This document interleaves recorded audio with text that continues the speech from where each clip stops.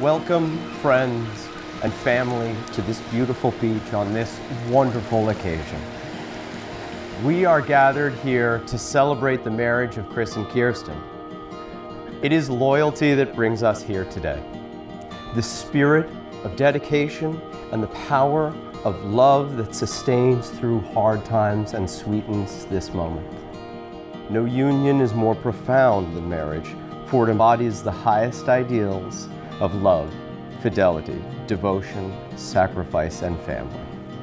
Kyrsten, I vow to appreciate, encourage, support, and love you with every breath that I breathe, because I can't wait to build our future together. I promise to take care of you, to encourage you and inspire you, asking that you be no one other than yourself. Chris, you are my light, and you've shown me more love than I've ever known. It is an absolute privilege to know you, love you, and most of all, become your wife today.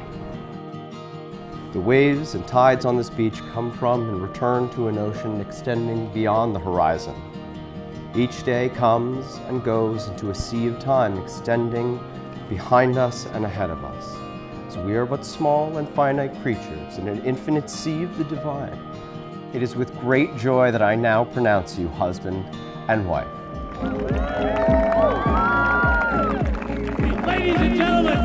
Very special moment. The first time announced in public. Bowdoin College, West Virginia University. Here they come, Chris Rowe and Cheer Kyrsten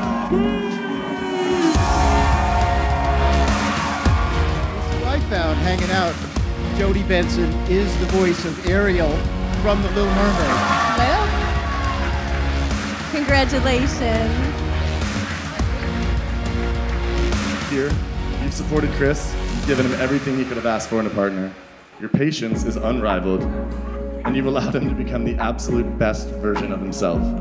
Chris, you, you found Kyrsten. Let your happy place be next to Chris, not just today, but every day for the rest of your lives. Please join me raising your glass to two of my favorite people in the entire world. Thank you, thank you for being with us to celebrate this joyous, momentous, and expensive occasion. Chris, welcome to the family, and don't say I didn't warn you because you know I did.